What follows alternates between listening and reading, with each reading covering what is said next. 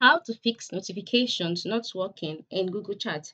Hi everyone. Welcome to this tutorial. In this tutorial i'll be showing you how we can fix notification not working on google chat.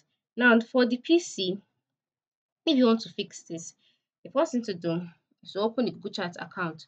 Once you've opened it by the right side of the screen you'll see uh, some options. That is at the top right side of the screen you see op some options uh, such as the support option, settings, etc.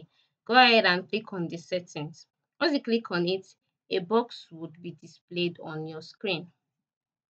Now, once this box is displayed on your screen, you notice that the allow chat notifications box is not ticked like like this that's the reason you've not been getting notifications so all you need to do is to click on the checkbox and then once that is done you'll be getting notifications. Now in this um box you can see you are not getting notifications because desktop notifications are not enabled in your browser.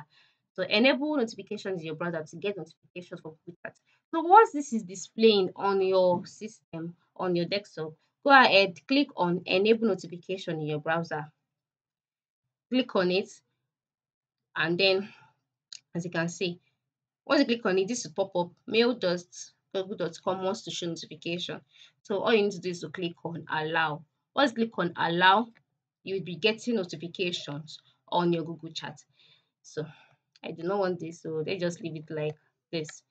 So then, but on the mobile app, just like you have to enable notifications on your browser, you also have to enable notifications on through your phone system all right so check your app notification settings and then click on enable notification on google chat app. Once that is done you'll be getting notifications from your google chat app. So it is that simple. And if it doesn't work ensure you update your google chat application. Once you update it it will definitely show or or bring up notifications whenever you receive a message or uh, Google Chat wants to inform you about something. So just go ahead and follow the procedures that I've stated in this video. Thanks for watching.